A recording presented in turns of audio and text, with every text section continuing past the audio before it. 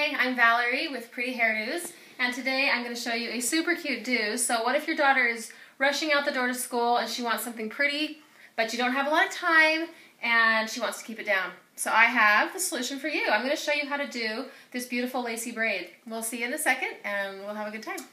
Okay, so here we go. All I did is I she has her hair parted where it's naturally parted, and I just took a chunk of hair. I did do it with a comb, but you don't necessarily have to if you want to just do this on your own head.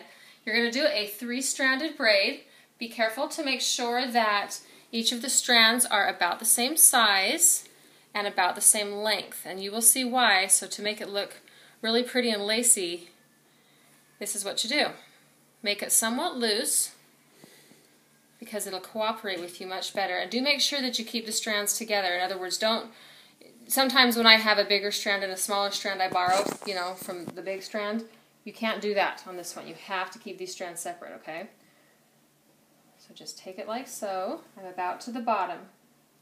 I'm going to take, there's, I'm going to divide these strands now. I've got three strands, as you well know.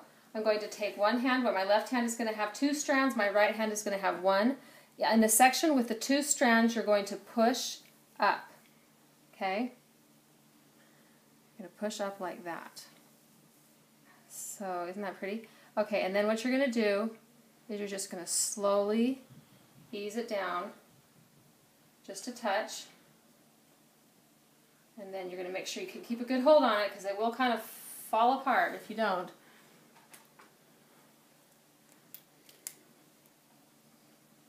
And then Okay, I just finished the second one, and as you see, it just turned out very, very pretty. So give this a try at home, ladies, and don't forget to subscribe to my um, YouTube channel at Pretty Hairdos, and also I have a new blog. Um, it's prettyhairdos.blogspot.com. Join me there, and we'll see you later. Bye-bye.